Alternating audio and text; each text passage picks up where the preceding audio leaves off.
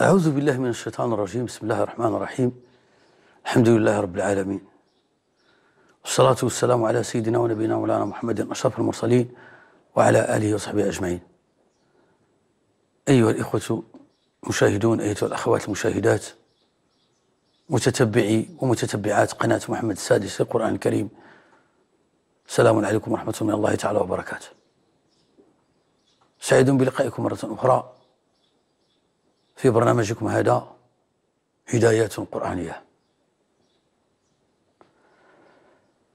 وما زلنا مع الهدي القرآني. وما زلنا كنتكلموا على الجانب ديال العقيدة. وأنه إلى استطعنا أننا نصفيو ديك العقيدة كما أمر الحق بذلك وكما جاء في القرآن الكريم. راه يمكن الأمور الأخرى نضبطوها. كنا تكلمنا على أن القرآن الكريم أكد على ضرورة تصفية العقيدة وعلى التوحيد الخالص لله تبارك وتعالى وأن القرآن الكريم ما تضمنش ذاك الجزئيات اللي تكلموا عليها العلماء هذيك في باب يعني المدافعة مع مع أهل الأهواء والأباطيل.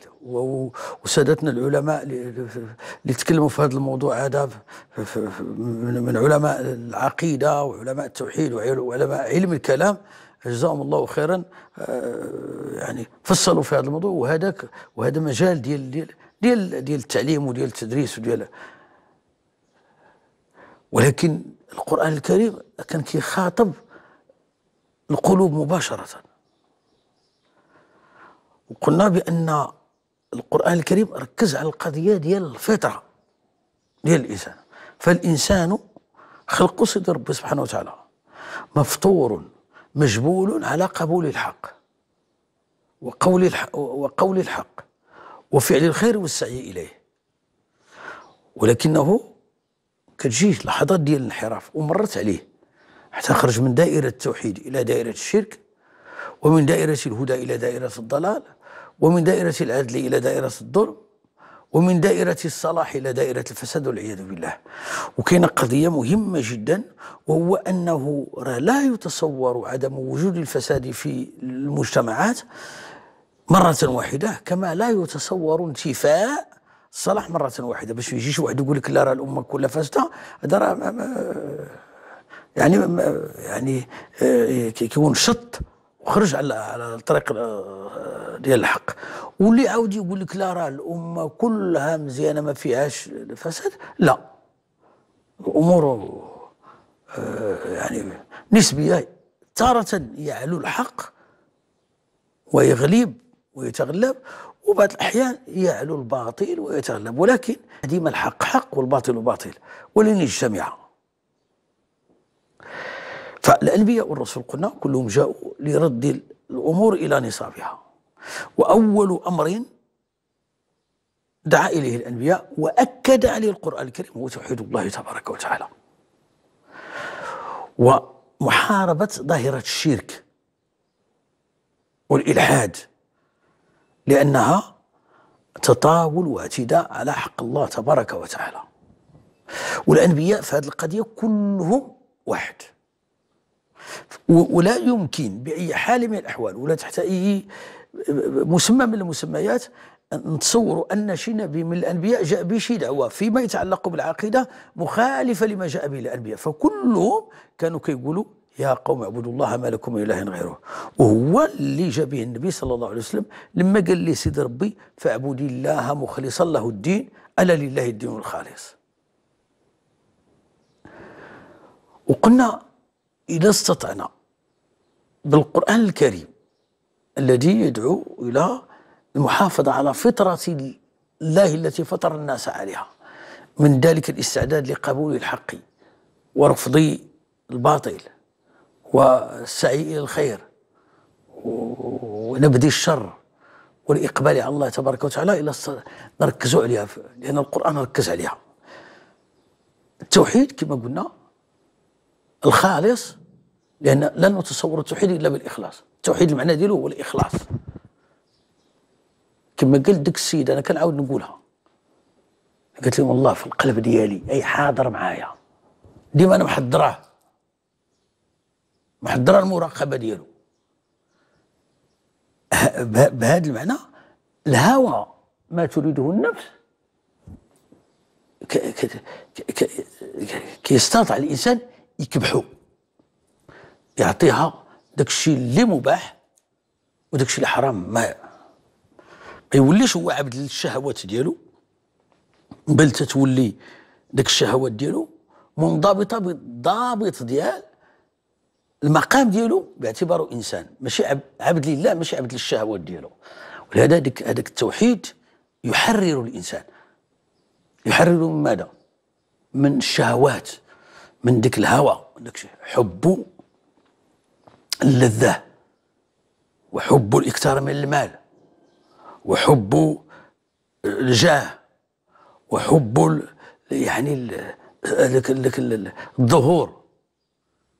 سيقول سيدي ربي في القرآن الكريم أفرأيت من اتخذ إلهه هواه؟ وأضله الله على علم وختم على سمعه وقلبه. وجعل على بصره غشاوة فمن يهديه من بعد الله. أفرأيت؟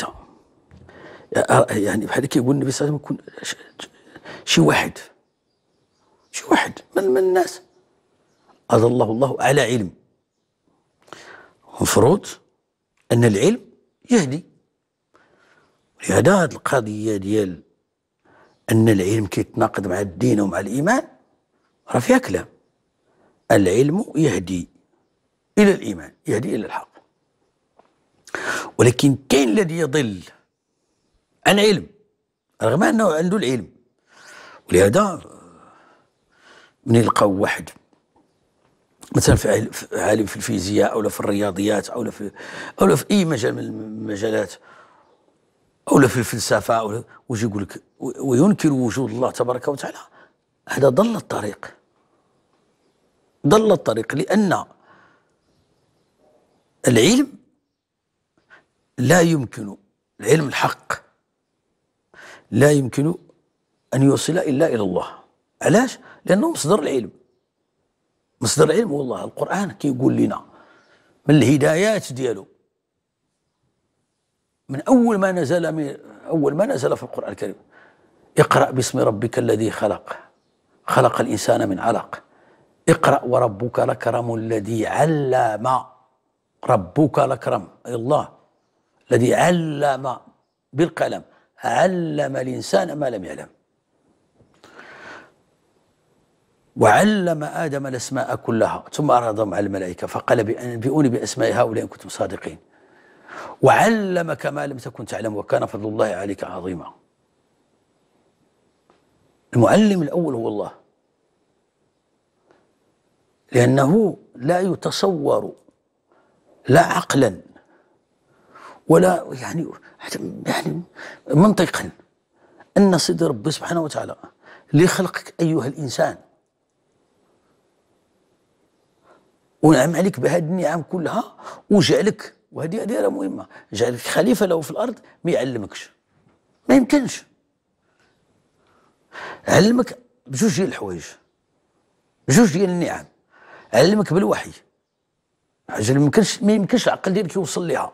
كيجي الوحي كيخبرك. الوحي شكون كيجيو به؟ الأنبياء والرسل. وهو المتضمن في القرآن وفي التوراة وفي الإنجيل قبل ذلك. وعلمك بحاجة أخرى العقل. إذا ما لا يدركه العقل كيجي الوحي كيفصل لك فيه وكيريحك. حتى لا تضل. وهذا وهذا وهذا المعنى من الهدايات اللي موجودة في القرآن الكريم. راه خصنا ننتبهوا لها. سيدنا إبراهيم الخليل آه، عليه السلام هو كيتأمل في الملكوت ديال السماوات والأرض بتوفيق من الله تبارك وتعالى وعناية منه. وكذلك نري إبراهيم ملكوت السماوات والأرض وليكون من الموقنين. يصل إلى درجة اليقين. في واحد في واحد اللحظة من اللحظات لما رأى القمر بازغا قال هذا ربي. فلما أفل قال لئن لم يهديني ربي لأكونن من الضالين. إلى ما هداني سيدي ربي؟ راه يمكن نضل وأنا كنبحث بالعقل ديالي كنفكر كنشوف الكون وكنشوف إلى ما هدانيش الله تبارك الهداية ديال التوفيق. ولهذا الإنسان إلى شناه وريناه الطريق مرة وجوج وثلاثة وما بغاش يلتزم. اش كي اش كيتسالنا اش كيتسالنا الدعاء الله يهديه. وهذا أمر مهم جدا لأن الهداية ديال التوفيق ما بيدياش ولا بيديك ولا بيد شي حد آخر. سيد ربي قال سيدنا محمد صلى الله عليه وسلم إنك لا تهدي من أحببت ولكن الله يهدي من يشاء. يعني ويعني حتى حتى حتى حتى تكون باغي. حتى يعني آه يعني يضرك خاطرك انهم ما باغينش ما بغاوش يمشوا في الطريق. الناس عزاز عليك. وليداتك أحبابك. ولكن لا تملك لهم شيئا. ما يعني لأن أنت باغي لهم الخير. هما ما باغيينش.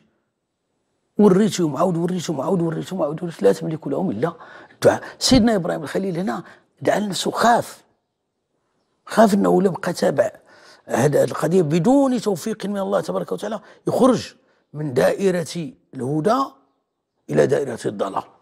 ولهذا قال لئن لم يهدني ربي لأكون من القوم الضالين. الهداية ديال التوفيق. ولهذا وحنا كان كنتكلموا في هذا المجال ديال العقيدة.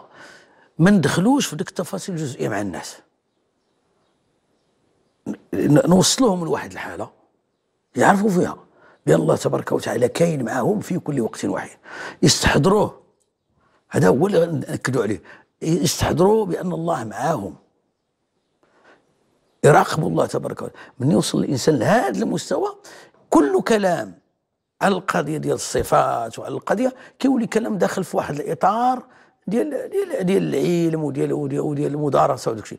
أما في إطار الحياة تعيش الحياة على الأرض الإنسان يحس بأن سيد ربي كيراقبه وبأن سيد ربي معاه. هذا هذا هو هذا هو الهدي ديال القرآن الكريم. الهدي ديال القرآن الكريم هو كيتحدث عن القضية ديال ديال ديال ديال, ديال العقيدة هو الإخلاص في العبادة لله تبارك وتعالى. فاعبد الله مخلصا له الدين. استحضر مراقبة الله لك. واعبد الله تبارك وتعالى تقربا إليه. تقربا إليه بديك العبادة. باش القلب ديالك يعمر بالله تبارك وتعالى ولما تخرج الحياة ديالك هذيك هذيك العمورية ديال القلب بالله تبارك وتعالى هي اللي كتجعل النفس ديالك ما تمشيش مع مع الشهوات. وهذا هو ذاك المعنى اللي قلنا عليه ديال الفطرة.